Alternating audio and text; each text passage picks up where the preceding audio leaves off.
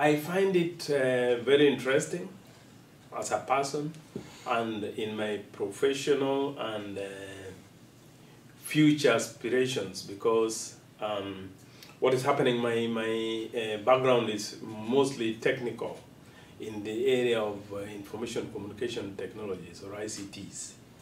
And I wanted to combine this with some substantive work, substantive work in the United Nations or after the United Nations, that is after retirement. And I see an area I'm interested in, um, which combines politics, ICTs, and uh, governance. That is the uh, um, use of ICTs in political uh, elections, because this has been a problem in, I've experienced this in many peacekeeping missions. I've been to a number of them, maybe 13.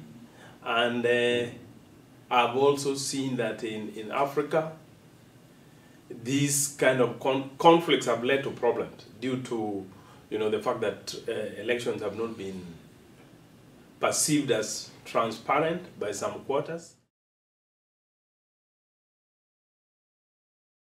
I want to find out whether there's really technology failures or human failures, but the mm -hmm. human being, because they talk, equipment don't talk, they could uh, just portion the blame on the equipment.